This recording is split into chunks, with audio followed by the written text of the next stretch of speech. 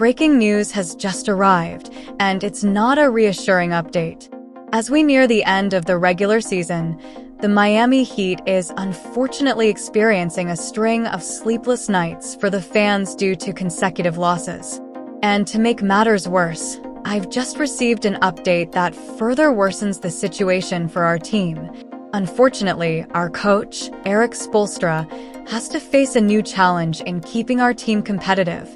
So, let me talk about the real extent of Tyler Herro's injury, and to ensure you stay up to date with the latest Heat news, make sure you're subscribed to the channel and have notifications turned on. Now, let's get right into it. We have some concerning news about Tyler Herro. According to reports, Herro will not be joining the team on their upcoming road trip, and there's no definitive timeline for his return from a foot injury. This comes as a blow to the Heat, as Herro has been a key contributor this season, averaging 20.8 points, 5.3 rebounds, and 4.4 assists per game in the 36 appearances he's made.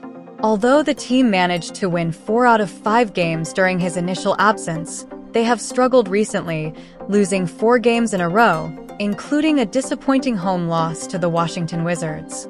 As a result, the Heat's standing in the Eastern Conference has slipped to eighth place, just one game behind the sixth place Philadelphia 76ers. To make matters worse, Kevin Love is also expected to miss the road trip due to a heel bruise. Love, who has been averaging 9.0 points, 6.2 rebounds, and 2.2 assists per game, has been an important veteran presence for the team. These injuries add to the long list of setbacks the Heat have faced this season. With 21 different players and 17 different starters throughout the year, the team has had to constantly adapt. Only Bam Adebayo has started in more than 46 out of 65 games played so far. As for Herro, the Heat face a crucial decision. He is reportedly dealing with medial tendonitis in his right foot, and the team must carefully consider when to bring him back.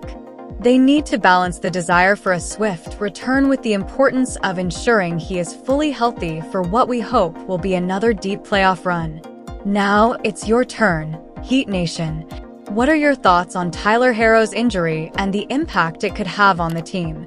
Do you think the Heat can maintain their playoff position without him and Kevin Love? Share your opinions in the comments below.